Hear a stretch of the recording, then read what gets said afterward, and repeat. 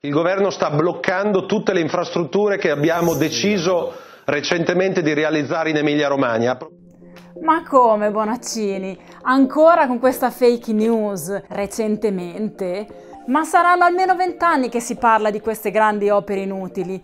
Prendiamo per esempio il passante. Nel 2003, passante nord, i soldi arrivano nel 2006.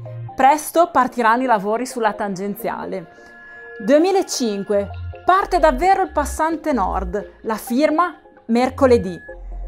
2011, ok al passante, appalto entro settembre. 2016, ok al passante di mezzo. Del Rio, lavori nel 2017. Bonaccini basta fare del terrorismo. Il governo sta lavorando con responsabilità e ha già eh, inoltrato alcune ipotesi ad autostrade che sono molto meno impattanti sulla salute dei cittadini e mirano a risolvere il problema del nodo bolognese. Come non parlare dell'autostrada Cispadana? Stamattina Bonaccini era di nuovo sui giornali a chiedere sempre al governo di essere ascoltato. Anche questa è un'opera eh, di cui si parla da almeno vent'anni. Vi leggo solo alcuni titoli di giornale.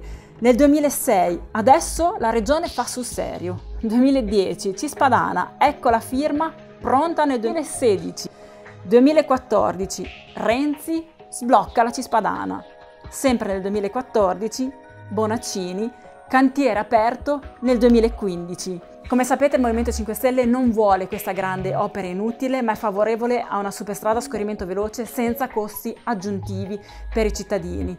Il presidente Bonaccini però, che aveva promesso eh, quei 200-300 milioni che mancano per la realizzazione dell'opera, dove troverà questi soldi? Quali servizi essenziali vuole tagliare ai cittadini emiliano-romagnoli? Problemi irrisolti da oltre vent'anni che oggi il presidente di questa regione pretende che sia il nuovo governo a risolvere. Ma come si sarebbe comportato Bonaccini se oggi al governo ci fosse stato ancora il Partito Democratico?